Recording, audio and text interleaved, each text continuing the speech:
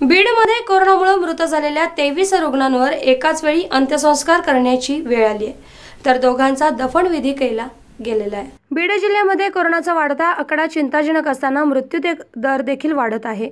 यातच अंबाजोगाई तालुक्यात प्रादुर्भाव मोठ्या प्रमाणात आढळून येतोय. वाढत्या रुग्णसंख्येसोबतच मृतांची संख्या वाढत असल्याने भयावह परिस्थिती निर्माण झाली आहे शनिवार रविवार या दोनच दिवसात अंबाजोगाईमध्ये कोरोनामुळे मृत झालेल्या पंचवीस रुग्णांवर नगर परिषदेनं अंत्यसंस्कार केले. तेवीस जणांना अग्निडाग तर दोन जणांचा दफनविधी करण्यात आला. सध्या अंबाजोगाईतील स्वाराती आणि लोखंडीच्या कोविड सेंटरमध्ये मिळून हजारपेक्षाही अधिक कोरोनाबाधितांवर उपचार सुरू आहेत. अनेक जण गृहविलगीकरणात उपचार घेत आहेत. रोज शेकडो रुग्ण कोरोनामुक्त होत असल्याचं चित्र दिलासादायक असलं तरी दुसऱ्या लाटेतील मृत्यूंची आकडेवारी चिंतेत भर घालणारी आहे. Bureau report S Marathi.